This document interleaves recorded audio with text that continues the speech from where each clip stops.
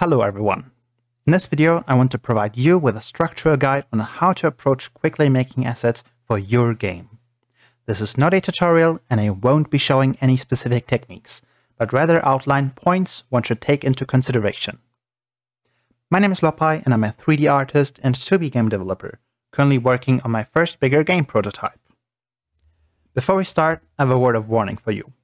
No matter how fast and efficient you want to work, health comes first. If your wrists aren't working, you won't be working either, and that possibly for the rest of your life. So take care of your hands, artists. While this guide is primarily focused on 3D models, it partially applies to game asset creation in general. If it is faster and easier to make an NPC a 2D sprite, then go for it by all means. If you insist on the use of 3D, however, then this video is made for you. First, the most important point of this guide, art style. The art style defines the complexity of your models. If you made a highly realistic game, your models needed to be highly detailed. On the extreme other end, if you're using 2D 8-bit pixel graphics, you can make that space shooter asteroid in under 10 minutes.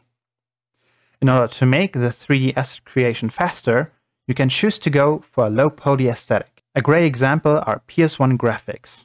You may also have heard of the 256 Fast Challenge, which limits the creator to using a maximum of 256 triangles and a texture space of 256 by 256 pixels.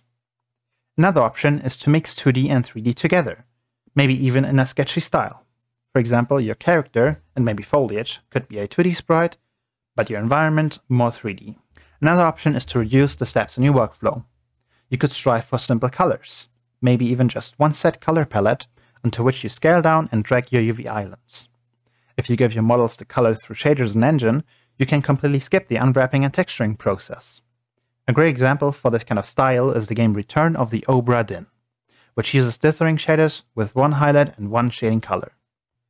In fact, I took a similar approach in one game jam I was part of. Last year in summer, two friends and I decided to join a 48-hour game jam hosted by students of the university where I was studying at the time. The three of us made a cute little game called Get in Shape, which you can see right now on screen, and play in the browser if you want to. It even won overall first place. I was the only artist on our team and made absolutely all visual assets you can find in our game.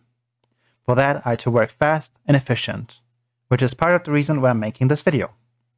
I chose to go for a low to mid poly style with a focus on vivid colors through in-engine toon shaders.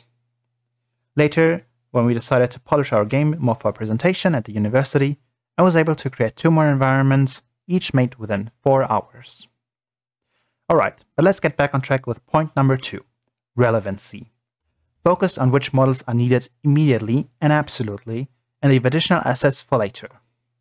If your game features a main playable character, then that model takes the highest priority. If your game has an outdoor environment, then creating the main landscape matters most, trees and rocks come later. Similarly, for indoor environments, a blockout of the whole structure is most important, and interior design is second. The next point ties in with the last one, planning. This may sound counterintuitive at first. Why would you want to pick pen and paper before booleans in Blender? But hear me out. When you know exactly what needs to be done, and the order of it, it allows you to skip all brain lag moments later while working. A solid plan will always let you know what to do next, and you can include some testing steps. When you're unsure about the game engine integration of your models, for instance, it may be worth porting an unfinished version of the model into the engine early to check if your idea pans out. When you choose a shader-based simple color art style, you can skip unwrapping and texturing. When you have some references and concept art at your hand, you will have an easier time actually making the models. To learn how to easily set up references in Blender and what settings you should be using, you can check out my video about it, after this one. So a good plan should include things like what are your workflows and all required steps to make a model? Can you maybe skip parts of your regular workflow based on the chosen art style? Do you make concept art or a reference board beforehand, or can you jump right into modeling?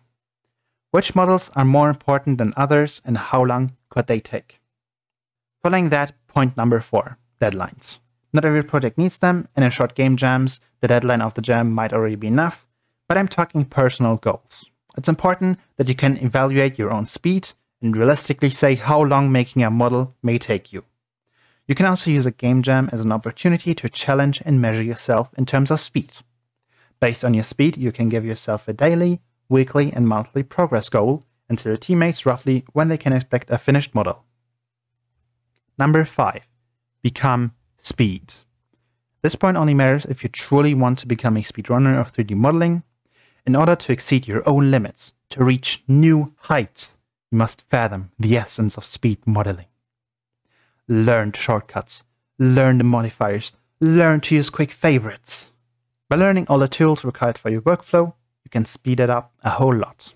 Which also flows well into the last point, additional tools. Mark my words, I'm not a Blender YouTuber who's going to promote add-ons left, right and center. I myself only use free or internal ones, but when it comes to speed, sometimes add-ons cannot be beat. One that I use all the time for topology flow, for example, is Loop Tools, an internal add-on that gives you extra options like relax or flatten. This way, my initial topology can be a little messy, but then I clean it up afterwards. You can see my quick retopology workflow in this video. Next to add-ons, there are also regular resources, which can make your life easier. By integrating free-to-use existing assets like shaders and textures, you save yourself quite some time. But you should consider beforehand if searching for resources takes longer than you yourself making them. Alright, that was a lot. Here's a quick recap of all the things I mentioned in this video. First, choose a simple art style. Second, focus on important models first. Third, plan your workflow. Fourth, set deadlines or personal goals. Fifth, learn speed modeling techniques. And lastly, find add-ons and resources. Remember to take breaks in between all the work and stretch your wrists. That's it for this video. If you enjoyed it, please leave a like and subscribe if you haven't already in order to receive inconsistent monthly Blender related uploads. Thank you for watching and happy blendering!